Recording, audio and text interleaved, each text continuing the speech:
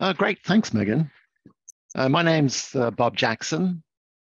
I'm one of the directors here at CSOLS. My responsibility is uh, really manufacturing systems, uh, including Sample Manager.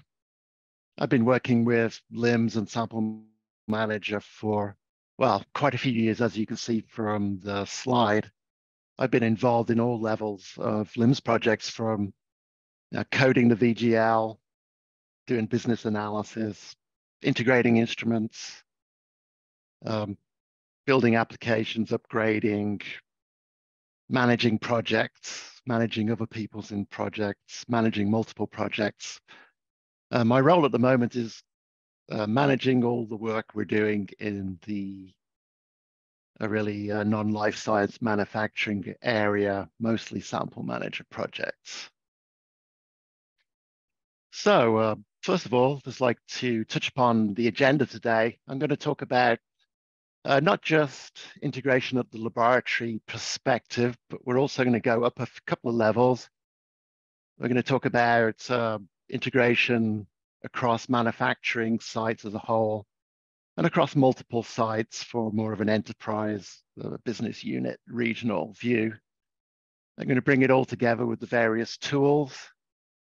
We're also going to kind of review some data analytics and dashboarding int integrations and talk about some more, you know, coming down the road things for the future, such as voice and extended reality, which are beginning to appear in the Sample Manager LIMS product. So I'd like to uh, start off with just three, three or four slides just showing the perspective of where uh, the laboratory fits within the overall organization of things. So here's a, a very simplistic representation of LIMS within the laboratory where you have samples coming in, getting received, tested, results entered, reporting, you know, results going back as data to the customers of the laboratory. So a laboratory is typically embedded within a larger organization and is performs a service for that organization. So one of the examples of that and the one we're using today is the manufacturing context, which is uh, where a laboratory is there to support the manufacturing process at a site doing uh, definitely in-process samples, probably final product samples, may well be doing some environmental monitoring. Um, really, but typically the main line of manufacturing would take in the uh, really pulling in the raw materials, receiving into warehouses, into the process, doing a bunch of manufacturing processes uh, through tanks, pipes, reactors, creating product, which is either could be sent back to the warehouse uh, for use in other products, or it could be shipped out to other manufacturing sites as an intermediate, or it could be a shippable product out to the customers of the manufacturing organization. And You can see I represented on the left-hand side, we have some of the typical systems we see in the uh, manufacturing arena, such as manufacturing execution systems, MES, process historians, and process controllers.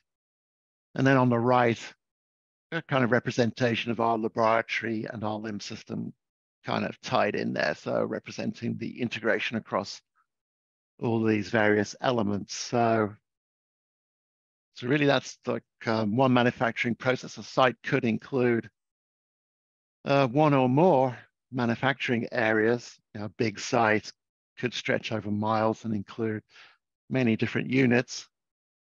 So going up a level where we see represented on the left-hand side, we have the ERP for enterprise resource planning.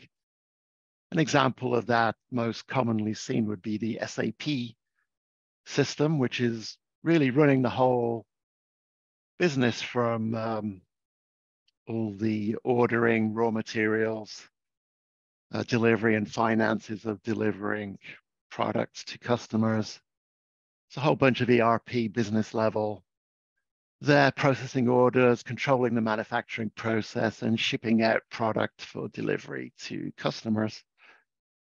And to the right-hand side, we have a, a, kind of looking at our representation of a manufacturing unit showing the uh, laboratory embedded within that level as well. So the goal of these diagrams is really to show how the lab is just a small part of um, an overall manufacturing organization, just part of a larger enterprise